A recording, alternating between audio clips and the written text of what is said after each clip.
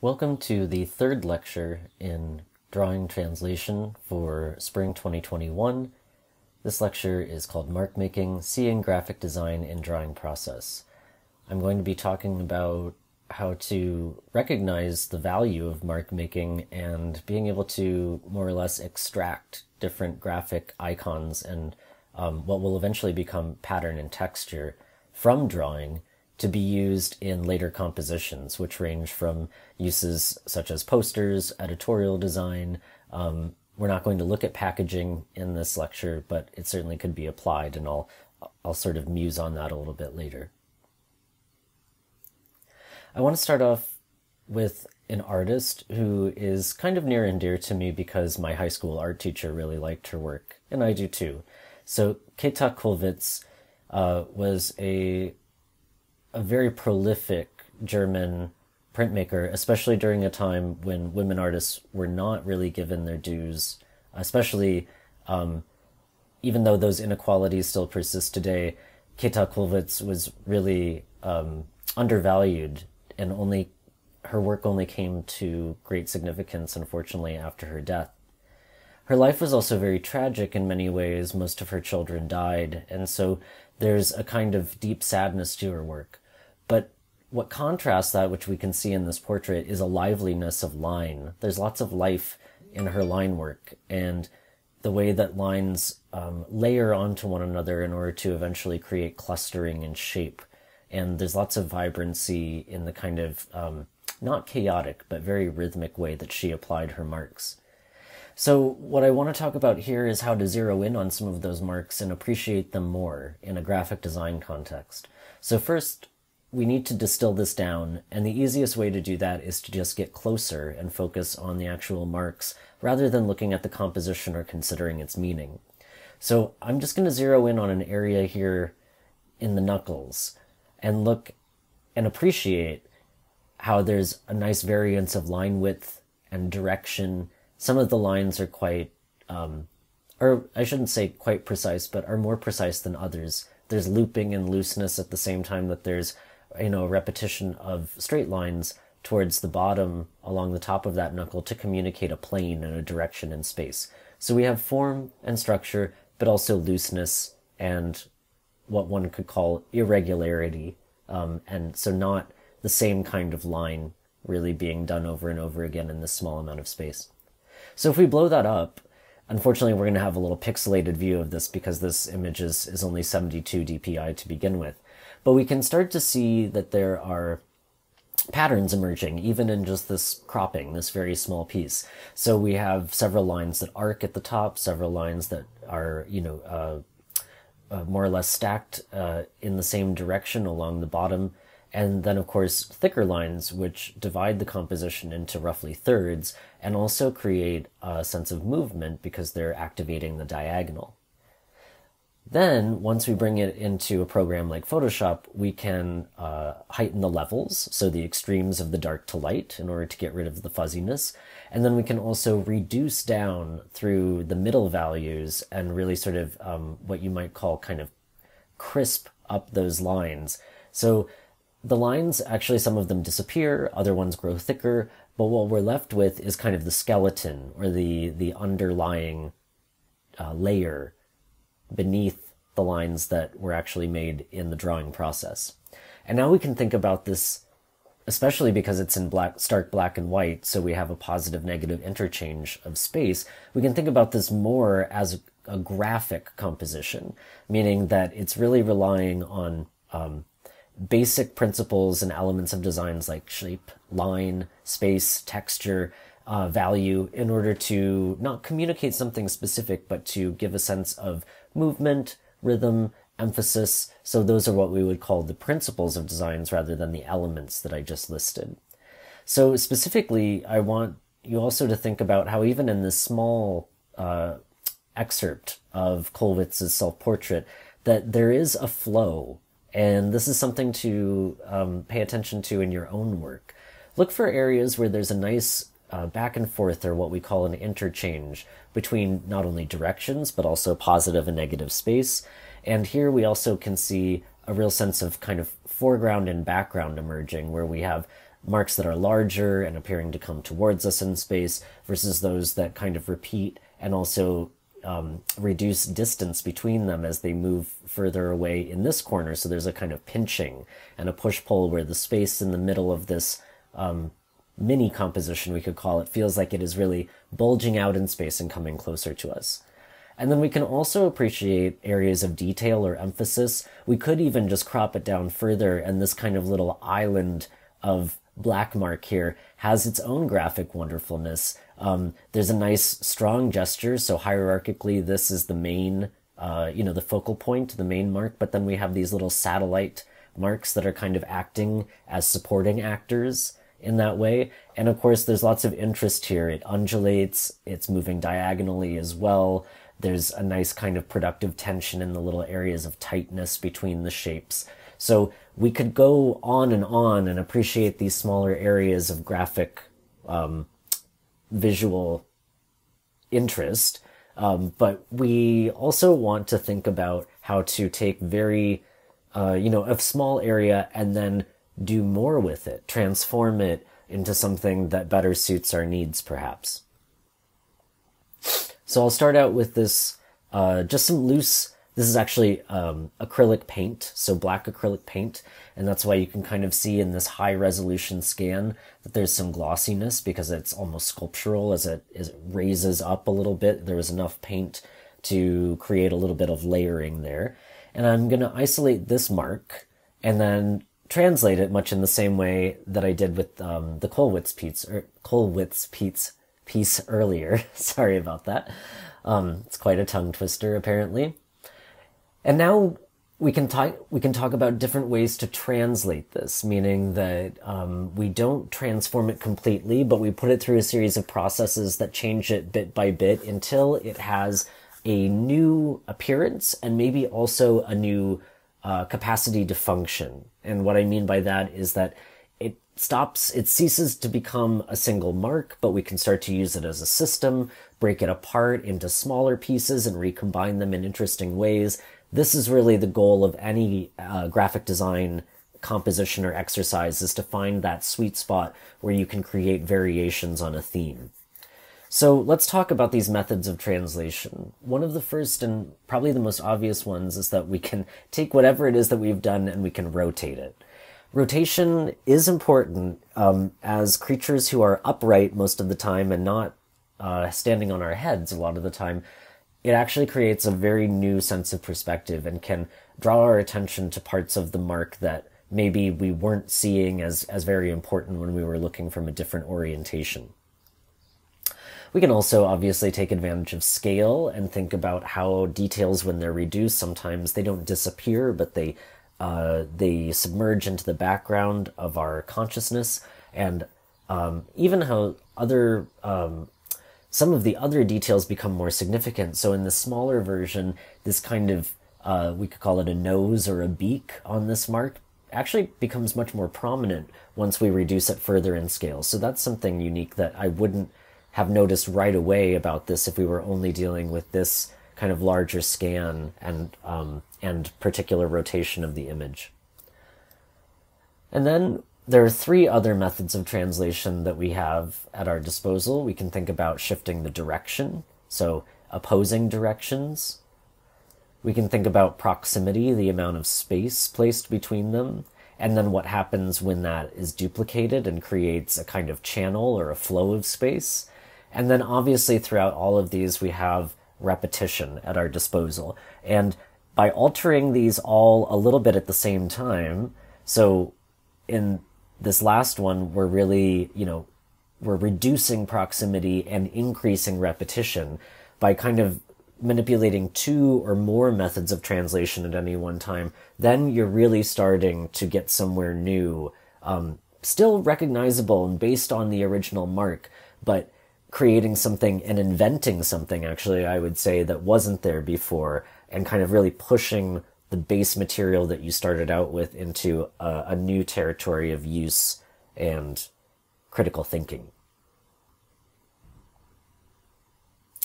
Now I want to talk about what I'll call loosely some mark making masters.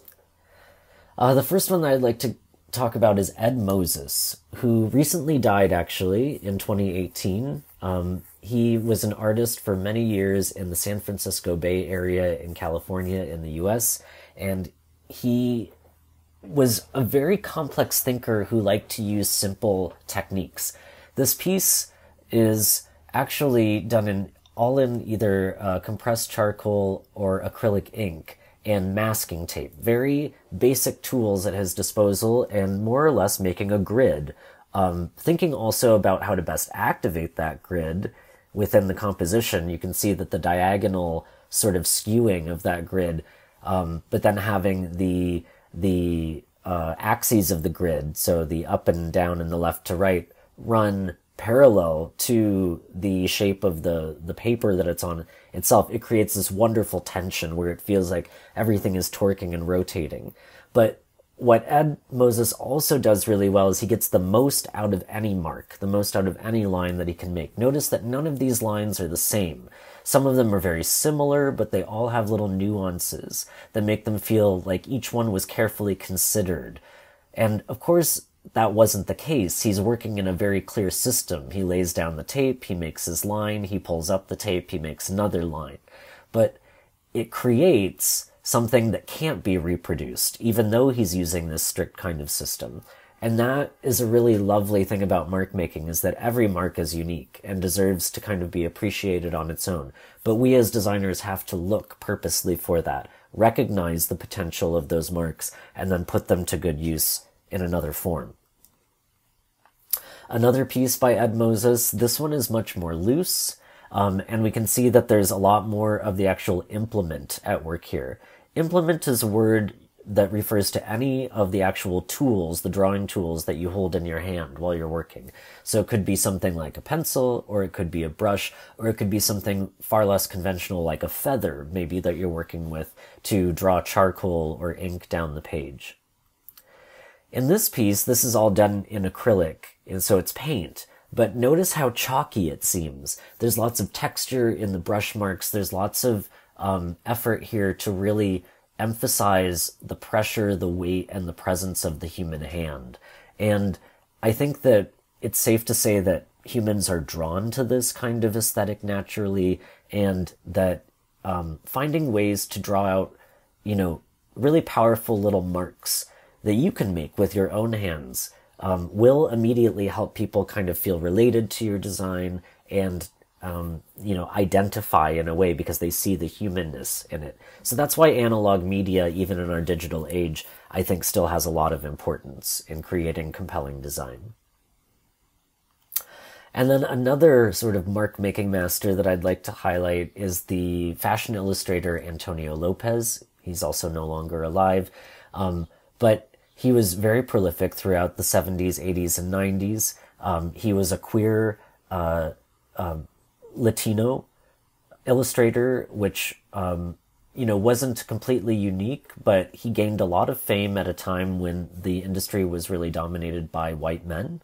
And I think one of the things that he did that's really um, very sophisticated, but also kind of loose and raw, is what you can see here in these portraits of the fashion icon from the 80s, Tina Chow, where these are both of her, and he's taking slightly different directions in it, but he's not hiding the medium or the implement as he's making these drawings. You know, scribbles, but done with a, a very thick, broad implement and done in a way that's very confident, become a gesture. They're very loose and kind of effervescent in a way, feeling to the viewer, but they're also really structural. They form the structure in one kind of bold move that even with these little rivers, these channels of white space in between, it actually starts to create a sense of volume because it's just so dense in comparison to some of the other lighter touches with these washes.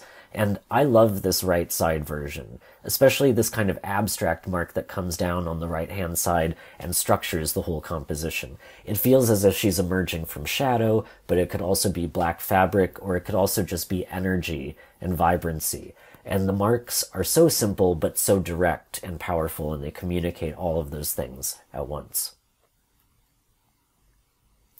All right, now let's turn to a couple of examples of real designers who are uh, incorporating mark making into their methods. So the first example I'll talk about is actually a campaign that was put on by Nike, um, and they hired the uh, Amsterdam-based design studio Wieden and Kennedy, and this was back in 2004. Um, and the design studio basically they did freeform paint mark illustrations, which I'm putting up right now, uh, on very large pieces of canvas. Uh, sometimes, you know, working in a kind of Jackson Pollock like style where they were th- uh, throwing or flipping the paint along the surface. And they did several of these and then digitized them and sort of painstakingly uh, traced them, not auto traced, but traced them by hand in Illustrator so that they were vectors that were large enough to be blown up to, um, as you can see from the installation photo over here. You know, they're, they're twice as high as the average human being, probably, you know, uh, I'm going to guess here, uh, almost 20 feet wide by the end of it. So they had to be very high quality images but this interesting collage translation where they've taken, you know, someone photographed in athletic wear, taken them out, and then substituted the line work as the kind of skeletal structure of the figure. And I just think it's a brilliant use of mark making that is very in touch with Nike's brand, which is all about energy, vivacity, um, you know, that idea of just doing it, like the force um, of being present and active. And I think that that's accomplished in this mode of drawing where you're really embracing what the line wants to do and what the ink in this case or the medium wants to do. A couple more examples. This next one is by a Japanese design studio, Tokyo Pistol, and their client is a, um, a local art university that also has an extensive library and museum on campus, Musashino. And the I think this is a, a very kind of crude type treatment in some ways. This is finger painting. But I love the textures that they combine it with and these large sort of ink swatches that ground the composition. And there's a delicacy to the opacity changes that makes, and especially the way that they move in front of some of this type, that makes the finger painting seem um, really well considered. It is the it is you know embodying this idea of aggression. The title of the play is "The Young Aggressive," um, but it's also done in a very playful way that feels sort of off kilter, very spontaneous, as if it's you know they they just sort of walked out onto the sidewalk and painted onto it and took a photo. Even though we can see there's some uh, you know, some very careful textured layering of collage work that's going on in this composition. But I also really like how they were thinking about the freeness and kind of the crude, you know, these are bad letter forms in a lot of ways, but how that contrasts beautifully against this very structured sort of bill that they have stamped on that has all of the essential information on it at the bottom of the composition. Um, and obviously the idea of activating space through this kind of stark figure ground um, with these heavy black marks um, also is in contrast to the kind of the more delicate, lighter exchange of figure ground in that bottom part of the composition. Um, a very different kind of purpose here, but a similar take. Um, this is for the London fashion, men's fashion company called A Sauvage, and this was done by um, Fuel Design in London. And I think the thing I won't say too too much about this because I think I've I've kind of alluded to um, in previous images how the mark making here is really successful or successfully integrated, I should say. But beyond those things, what stands out to me is how it's communicating process through the repetition of these shapes and kind of crossing things out at the same time that it's highlighting them. And again, it adds a really um, a beautiful sense of urgency and presence to it through the human hand, even though these marks are, you know, they are structural. This is sort of mimicking the up down axis of the photograph. The arm is, you know, we could argue resting on it. This is sort of directing our attention, boxing us in visually in a way and directing our attention to the model. So they're functioning structurally within the composition. But in other ways, there's a, a kind of, and we talked about this, or I talked about it, I should say, in the primer lecture. Um, there's a, a measure of index or indexicality in this where we see the human hand and we identify with it in a kind of, I would say in some ways because of the scribbliness, a kind of childlike, whimsical way. Okay, lastly, I just want to talk about some lessons from a really um, esteemed Japanese artist who you have probably heard of at some point before, named Hokusai. And he was a painter, but also a printmaker, and I think some of his prints um, and drawings uh, for those prints really yield a lot of important lessons. So this piece, Two Trees, from the 1830s, we can see a, a real kind of transition from drawing, thinking about drawing as line, to thinking about drawing as shape, and using the implement in a way where we're almost kind of stamping or and what I mean by that is kind of just pressing the edge of the implement down onto the paper, as well as creating very fine lines with the tip of that element. And here, the shape is also, um, and we saw this with the gesture drawing in the last model, is kind of standing in for shadow and value and weight and giving more um, emphasis to certain parts of the subject matter. So use of all of the drawing implement, think about not just the tip of the drawing implement, and this goes for pencils and uh, brushes and blocks, as in chalk and charcoal. Think about the tip and using also the sides, and think about splaying if you are using a brush, sort of spreading out the brush and seeing what that does to uh, the kind of mark making that you're able to accomplish. Um, Hokusai and many Japanese printmakers actually, you can see this kind of careful oscillation or going back and forth between moments of chaos or what appears to be kind of messy chaos, and then pulling it in and having these tight little moments of detail. So being kind of rough and broad with the brush here, and then just dotting ever so slightly to add little areas of emphasis. And we can also see that here, right? There's a lot of restraint in the bottom with leaving all of this negative space, and these kind of almost, you know, hurried, angry marks next to it to describe the texture of the bark on the tree. So there's a wonderful balance between chaos and control.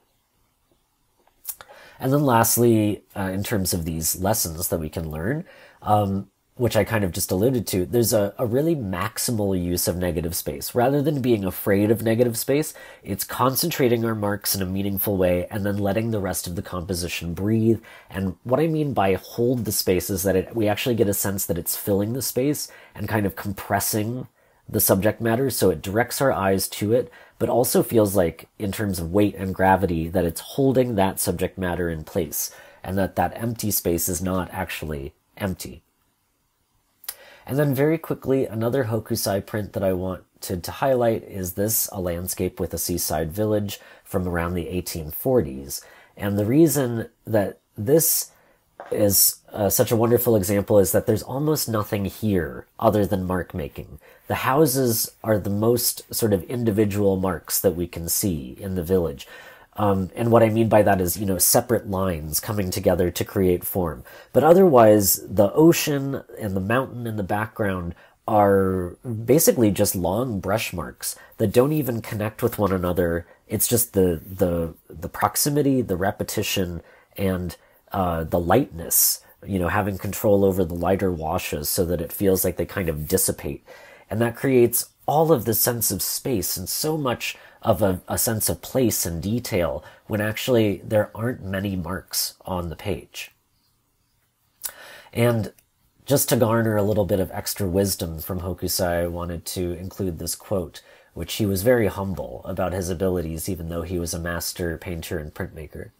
At 73, I learned a little about the real structure of animals, plants, birds, fishes, and insects.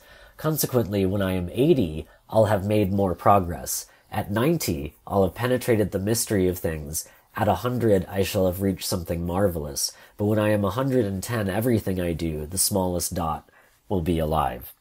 And unfortunately, Hokusai did not live to be 110. But I think it's a really lovely philosophy to have that as you get older and experience life, that more of that life actually moves into your hand, and that the lines that we make uh, are carrying as vessels more and more life as we become more observant of it and more aware of it in our surroundings.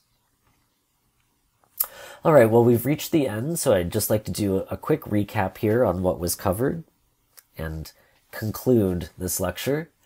So first, um, as graphic designers, we need to recognize mark making as another one of the design tools in our toolkit. And I think that it's for students these days an underutilized one.